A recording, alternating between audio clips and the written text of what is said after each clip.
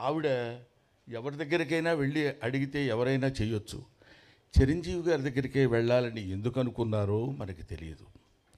వెళ్ళినప్పుడు నేను చాలా కొంచెం హెక్టిక్గా ఉందండి అనేటువంటి ఆలోచన లేకుండా వెంటనే ఎస్ అని ఎందుకు చెప్పాలి అనుకున్నారు.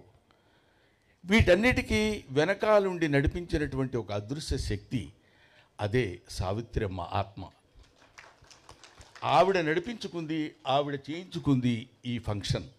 ఆవిడ దగ్గరుండి నాన్న చిరంజీవి నేను చనిపోయాను అంటున్నారు అందరూ? కాదు నేను బతికే ఉండాలి బతికే ఉన్నాను. అన్న విషయం నువ్వు చెప్తే అందరూ నవ్వుతారు నమ్ముతారు. నువ్వు చెప్తే అందరూ తెలుగువాడు తెలుగు మాట్లాడేటువంటి తెలుగు ప్రేక్షకుడు ఎవడైనా నువ్వు చెప్తే ఆనందిస్తారు నమ్ముతారు నాన్న. నీ చేతుల మీదుగా నా పుస్తకాన్ని ఆవిష్కరించరా అని చెప్పిందేమో. అనేటువంటి భావన నాకు కలుగుతుంది. లేకపోతే ఇది అతి సాధారణంగా ఇందాక చాముండేశ్వరమ్మ చెప్పినట్టు ఇందాక ఆవిడ ఏదో మీ చేతుల మీదుగా జరిగితే చాలు మీ ఇంట్లోనే ఈ పుస్తక ఆవిష్కరణ ఇలా జరిగితే బాగుండంటే చిరంజీవి గారు అంటే ఆయన గురించి ఇప్పుడు సభలో చెప్పాల్సింది సావిత్రి గారి గురించి అయినా సావిత్రి గారి పెద్ద కొడుకులాగా ఆయన గురించి చెప్పాల్సిన విషయం నాకు ఏర్పడింది ఇప్పుడు. ఏదో ఒక మామూలుగా అయితే మా ఇంట్లో జరుగుతుందిలేంటి చేసేద్దాం అనేటువంటిది కాకుండా సావిత్రి అంటే యునీక్. సావిత్రి అంటే ఒక నట శిఖరం ఆవిడ.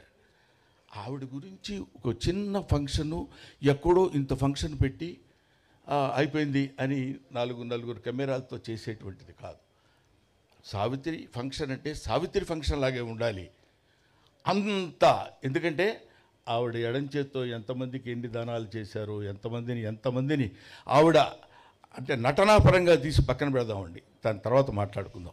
అటువంటి మహనీయురాలైనటువంటి ఆ మహానటి సావిత్రి గురించి ఆయన పెద్ద మనసు చేసుకుని ఇంతమందిని ఆహ్వానించి ఆయన పిలిస్తే రాకుండా ఎవరు ఉంటారండి? బ్రహ్మానందం కూడా పదకొండు గంటల వరకు ఉంటాడు. అది చరిత్ర. కాబట్టి అటువంటిది అటువంటి మహనీయుడు తలపెట్టినటువంటి ఈ కార్యక్రమం ఎవరు చేశారు ఎవరు చేశారు ఇది ఇంకెవడయ్యా వాడు ఆ సావిత్రమ్మే చేసుకుని ఉంటుందని నేను మనస్ఫూర్తిగా నమ్ముతున్నానమ్మా. అది.